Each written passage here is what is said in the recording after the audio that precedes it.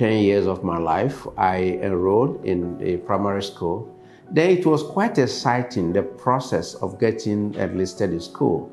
Um, the eligibility is determined by wrapping your hand over your head and uh, for the tip of your finger to get to the lobe of your uh, right ear. Because um, I had, I think I still have a large, relatively large head, it was quite difficult for me to get to school early. So I had a little delay um, starting uh, primary school. Uh, when eventually I started, things went well within that period.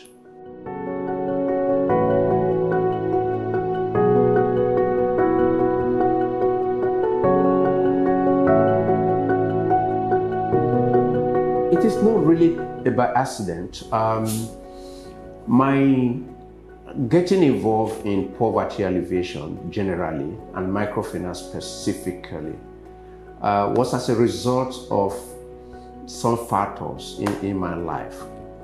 The first the fact was that by the time I was te- stepping out of university in 1981, I had sufficiently um, get the understanding uh, due to my ideological orientation that to be able to uh, determine whether a society or indeed a nation has developed, you need to consider the condition of people at the bottom end of the society. And therefore, it was quite easy for me to determine that I would want to operate at that level. Uh, in terms of environmental factor, if you remember in the early 1980s, uh, that's exactly when the economic challenges that we have today actually began with the uh, glut in the international oil market, resulting in reduced revenue and challenges in government being able to meet its obligations. And that led eventually, five years later, precisely in 1986, uh, the adoption of the Structural Adjustment Program, the SAP, which in effect uh, affected or actually enhanced the uh, incidence of poverty. It was a more, LAPO therefore was a more of a non-governmental response to the increase in the level of poverty both in severity and spread at that time.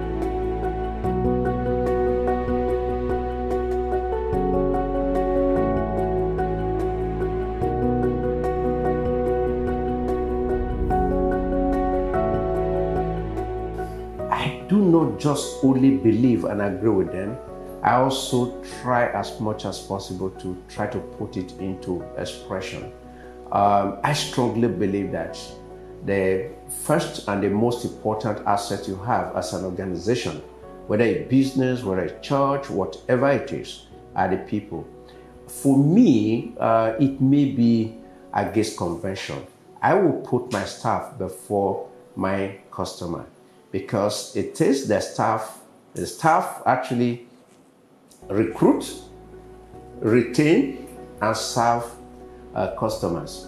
For, for me, um, people are very important, and therefore, every CEO that wants to add value and outperform his uh, peers must engage in proper organization, organizing his people, empowering his people, and also uh, ensuring that uh, demand for accountability from the people.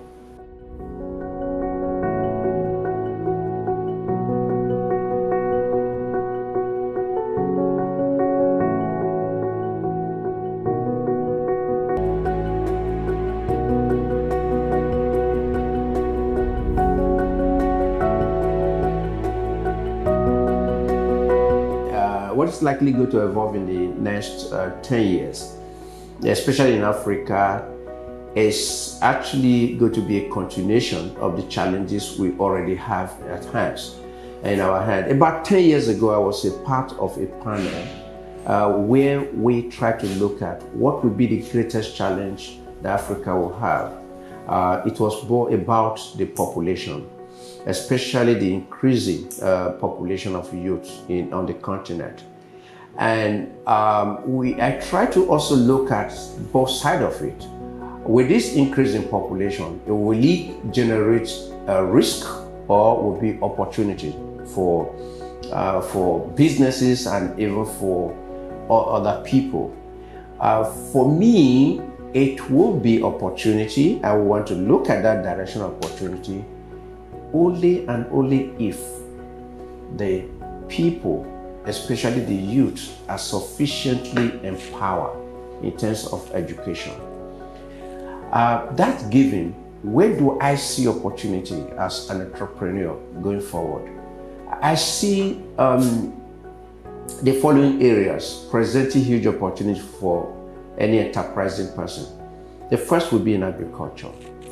Uh, I believe that um, the, the conventional uh, process of small scaleholders, individuals, you know, farmers producing for his own household consumption and a little for the market will go away.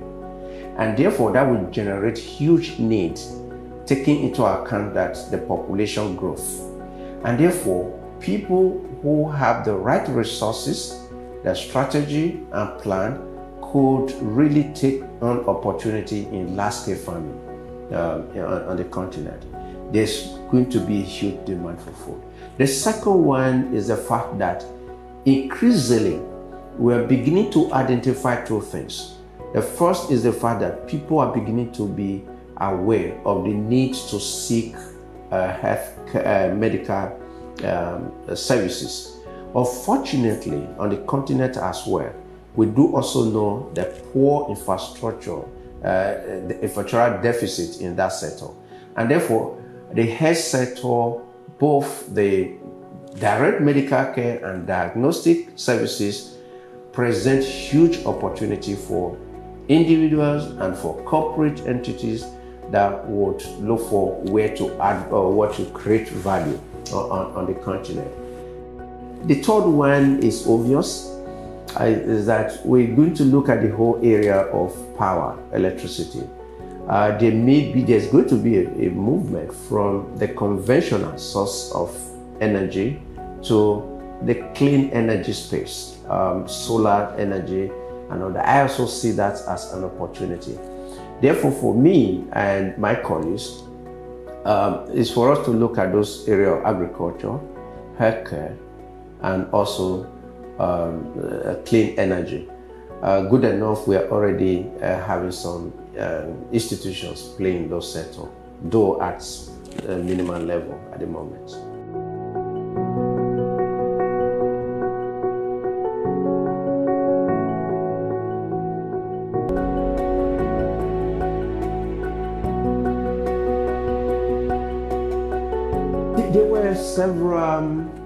Moments of being in the valley and also some, you know, triumph uh, fun standing on, on, on hills. If you look at the moments in the valleys, um, I would say the, the toughest one at, was actually started at the beginning. Uh, when I put in place what LAPO should be and what would do um, it was quite difficult for me to have the, get the acceptance uh, in Ogwashiko where I started. Um, funny enough, uh, for most women, uh, what we were doing or what we tended to do sounded too good to be true. That you're going to provide loans to people without asking for collateral. Um, and it was like, and we're also requesting people to organize into what we call credit uh, growth. So, but we needed to, you know, do a lot. I needed to do a lot of sensitization.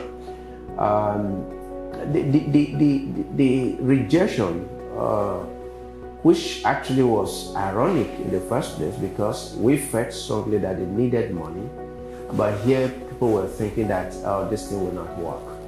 Uh, even some of my early colleagues will say this damn thing will not work. So it was quite challenging.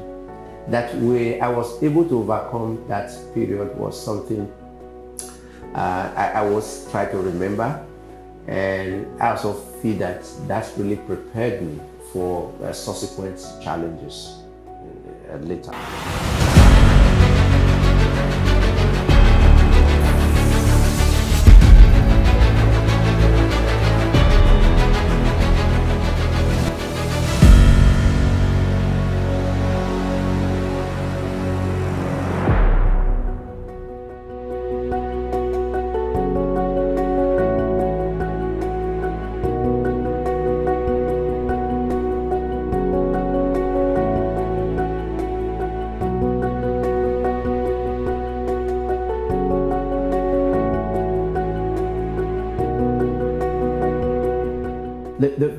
The point, um, the point where I really had that feeling uh, was in 2005, early 2005.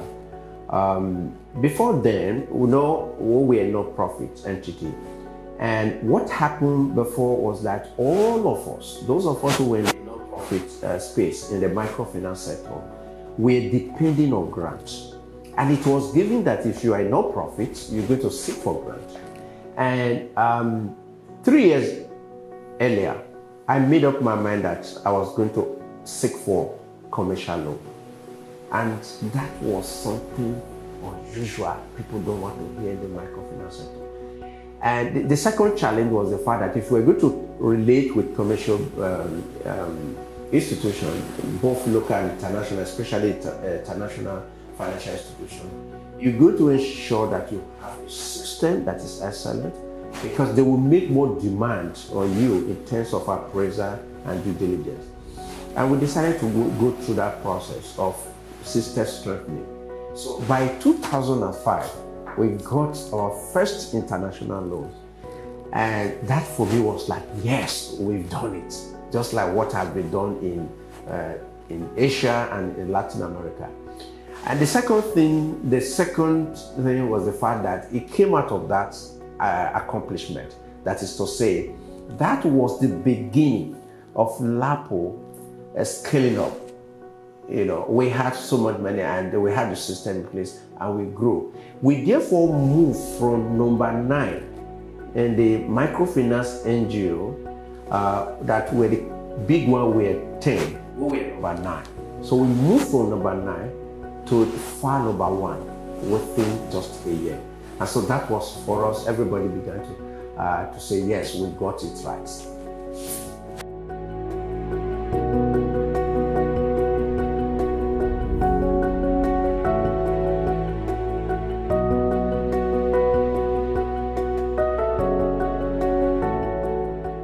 Those things that really have been uh, anchored, those things that uh, keep you stable, in my understanding.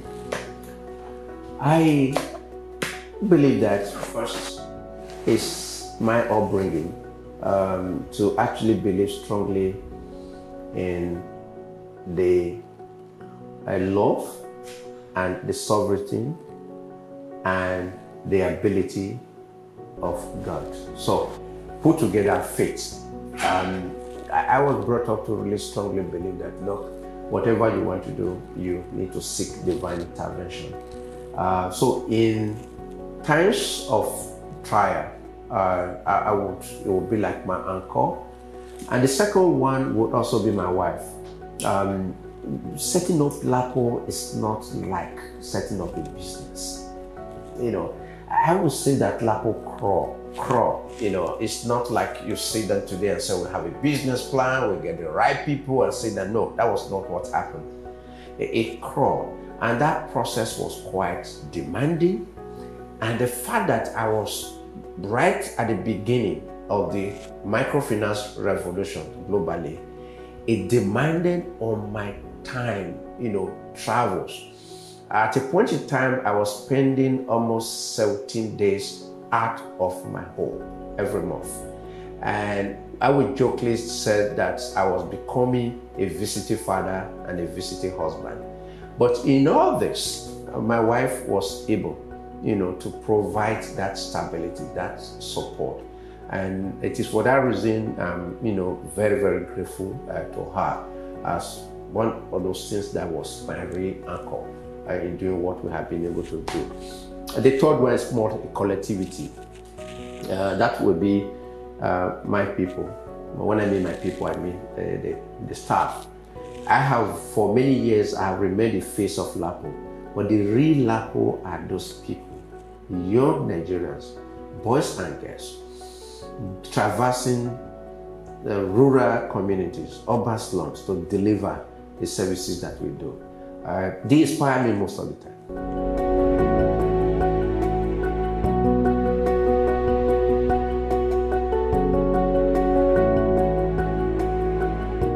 probably I would say that you worry uh, less, especially when you have to deal with people uh, who, for one reason, you know, betray uh, you or you had a lot of trust on, and they betray you. Um, that that could be for me uh, an advice that would uh, um, be very very useful if you want to succeed in uh, business. If I were to advise my um, my my younger self, let me put it this way, I would see say that you he should still emphasize three key principles. And these principles are one, diligence. You know, um, continuously to work, you know, hard because there's really no other alternative. And this can be operationalized by uh, be punctual um, in, in, what you do. For instance, I made it a duty to be able to every day to uh, be at my off uh, my on my desk at eight o'clock. I try to do that every day. So that's is something that I would you know still recommend for you know a younger self at that point. The, the second one is integrity.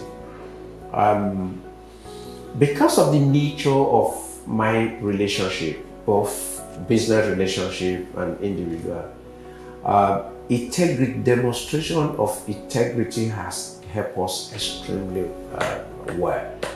I strongly believe, and I always tell younger people, that what really happened to support you do not often happen in your presence.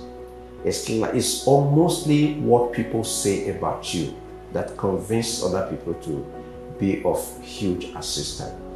So I would really advise anyone like that to uh, stick to integrity and honesty. In our environment, to some extent, it could present some challenges. You could, you know, encounter some resistance. You could actually suffer some losses. But usually those losses are short term. On the long run, it, integrity pays, and we have benefited from that uh, as an organization. The third one is personal discipline. Um, to be able to really achieve much. Uh, talent is fantastic if you are talented, but I strongly believe that you need to ensure that um, there is some real, you know, uh, element of personal discipline. So put personal discipline plus integrity and diligence. I do not see any reason why a young person uh, will not become successful even within just 20 years.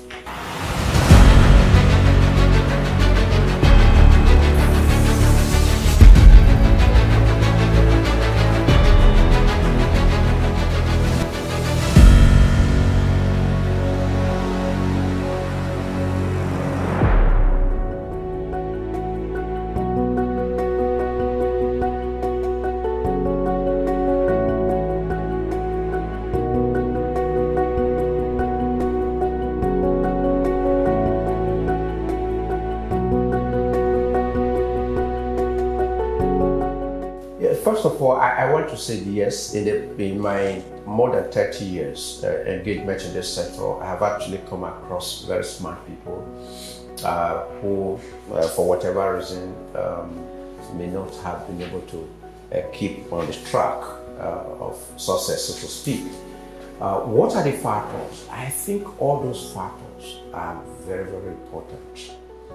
except that you could in any way try to um, assign, you know, score weights to each of them. But the reality is that any man who has been able to consistently be on a path for 30 years in, in our environment uh, must have benefited from the fact that you have the right preparation for what you are doing um, in, in, terms of academic qualification or professional qualification. I, I jokingly tell people that it appears that all my training before and even during my engagement in microfinance was were all made to prepare me from uh, for what I'm doing.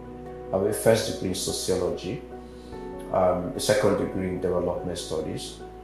I did not just have a diploma in cooperative uh, trips and credit management, but I was in practice for about six years. Uh, finally, having a doctorate in financial inclusion. So that's you know that that, that prepared me. The second one is the whole issue of um, integrity. As I said, um, what makes you to have favor and support for people is not necessarily what you tell people. If I come before you and I say, My name is Godwin Ehigiamusoe, I'm very good, I'm very this, the person I'm speaking to, whether a representative of an, a corporate entity, will believe me to some extent. But if, on the other hand, uh, you have someone else, based on my reputation, talked to the same person and said, I'm Joseph, but I strongly believe that Godwin is good, though it's not his good. The person is likely going to believe. So integrity is extremely important. But mark you, uh, in our environment, you're going to have some pushback. You're going to actually suffer some losses. We did that in our, in our, in uh, we, uh, we we suffer some losses because we, um, in relationship with certain entity, we insisted that this is the way we want to do our things right. But like I said, uh, we also have instances where because of that, we had huge uh, support. You can't take away the factor of divine intervention. Um, there are few things that will happen to you. Um, you cannot fully explain with all the logical uh, uh, reasoning, only to say that this this could have happened because of um, what you call luck or uh, divine intervention. So you must show me a successful person and doing something for 30 years and successfully, I will surely show you, point at a person who has diligence, who was sufficiently prepared, who had demonstrated level of integrity, and again has benefited from divine intervention.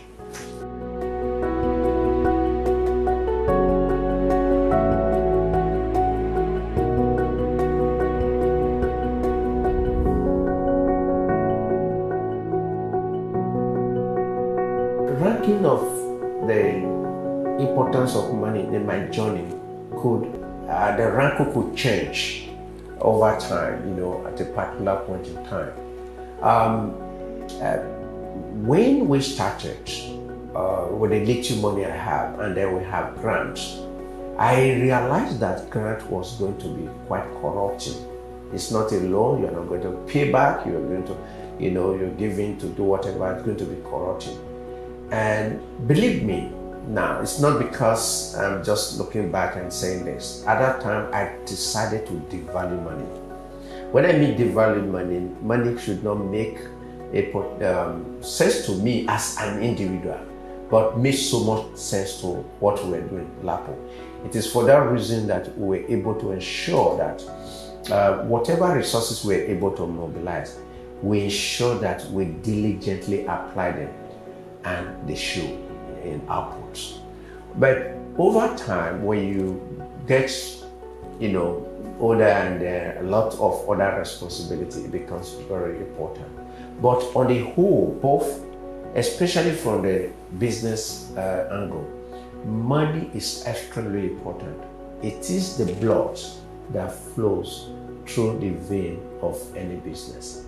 And therefore, um, if you want to be successful, you must make sure that you do a lot of blood or money transfusion into your business and also ensure that you diligently handle it in a manner that it continues to stay in the business and make the business grow.